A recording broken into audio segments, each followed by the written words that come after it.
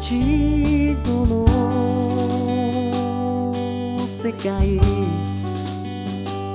そこじゃ涙の過去も無限の明日もみんな笑って語り合う。やるせない気持ちを全部凍らせてしまえば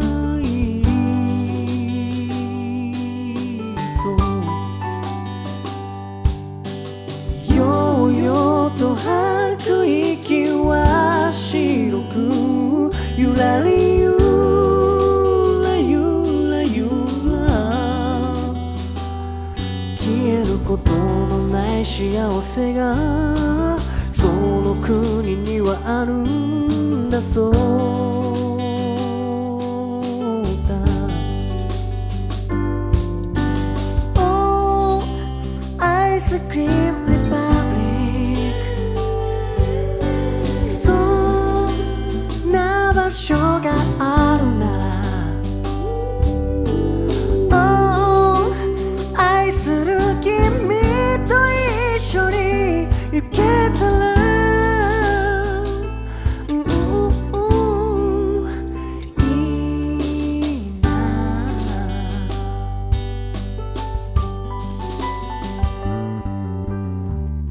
大人になったら何になるうまく大人になれるかな？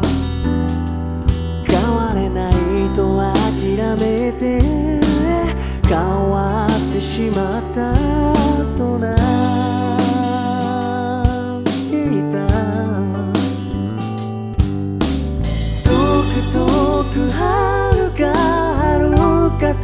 のその国のことを思っていた。